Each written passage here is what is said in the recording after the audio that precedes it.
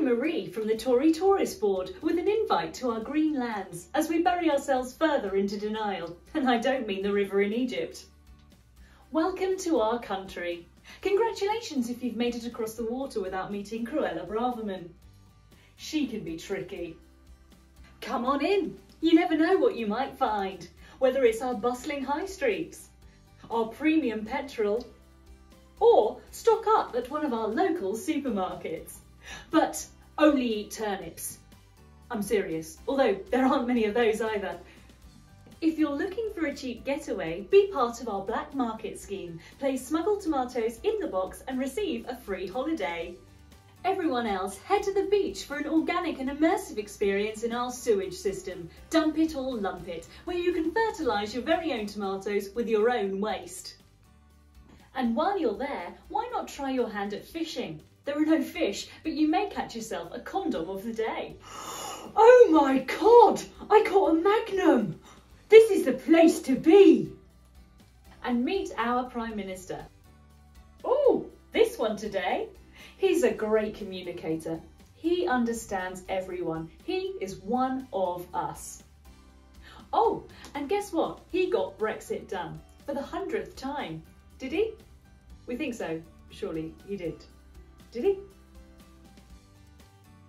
Enjoy a nice stay in a warm home, but only if you provide the warmth yourself. Bring duvets, it's best not to put the heating on or any lights. In fact, we pay people to turn everything off. No, no, Grandma, it's peak time, turn it off. But it's so, so cold. But don't worry, we have the answer. Work more.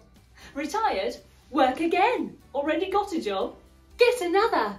It's that simple over here. We know many of you are facing hard times. Well, mainly the poor people, but it does affect us too, a little bit. Some of us have had to resign and make a load of money on TV shows. Even those of us who have been really hands-on. What's happening here then? Some of us have even had to resort to delivering extremely well-paid speeches on top of our resignation package of £115,000 a year.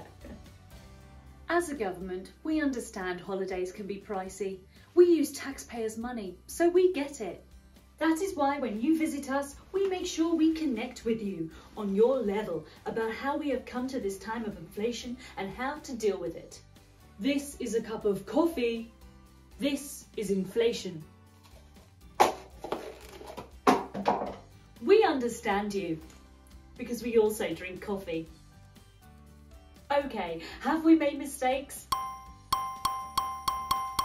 Right, all right, that's enough. no, Liz trusted. We didn't elect her. It's not our fault. We did elect her, didn't we? Just cut that bit. And we always admit when we do something wrong. I will accept that it wasn't my fault.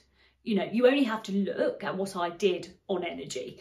I put a cap on families' bills. We put the great in Great Britain.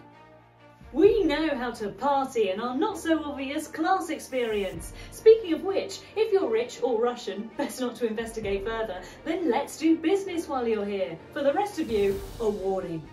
We are banning striking in our democracy, so please don't try anything. You have free speech, but don't speak. So enjoy your visit. In true British spirit, keep your head down and don't make a fuss. Eat turnips and carry on.